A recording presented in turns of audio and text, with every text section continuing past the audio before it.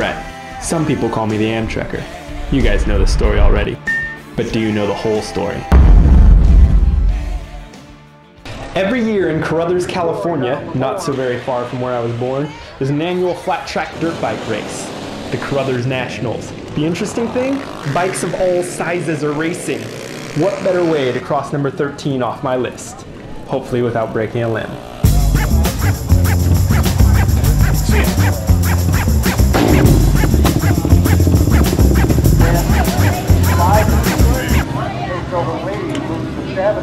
You're doing a good job.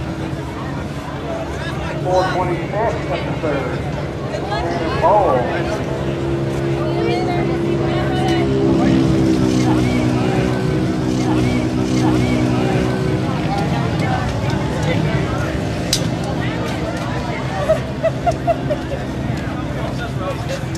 Five speed for the six that lead. Oster. Speed for the second. The 426.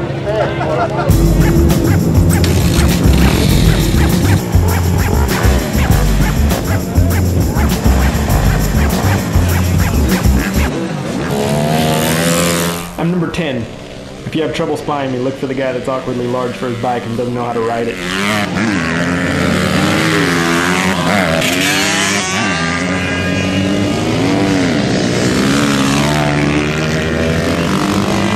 So that was literally my first time ever on a dirt bike, and I just got worked by a bunch of eight-year-olds in a practice round. I have no idea how I'm going to not look like an idiot in the real thing. So here's hoping. Pretty wide going to the first third.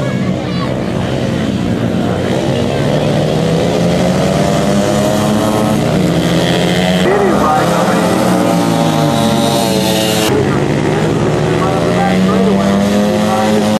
Five by five, to the third grade. Lisa in your lead. Ken Anderson. And then to the Anderson with a good move on the Whoa, no, timeout, cut.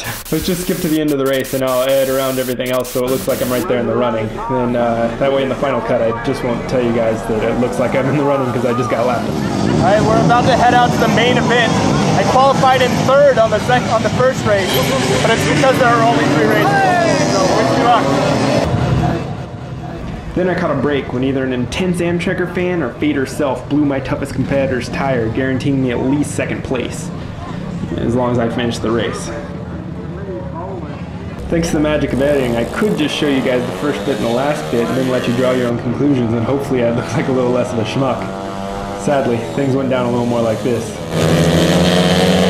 But bear in mind, I wouldn't even have to let you see that what really happened was that I had several missed shifts, or that just as I was getting comfortable, I pushed my lack of skills just a little too far, and one more crash later, I wasn't able to start the bike back up quickly enough to prevent getting lapped. Again. This time by the only dude racing against me.